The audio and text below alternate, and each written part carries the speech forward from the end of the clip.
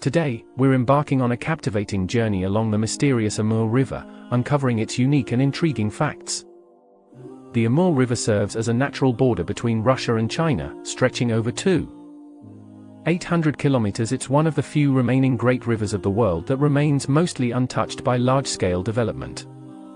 Fascinatingly, the Amur River Basin is home to an astonishing variety of wildlife, including the elusive Amur tiger, which roams the forests on both sides of the river the Amur River has played a significant role in the lives of the indigenous communities that call its banks home.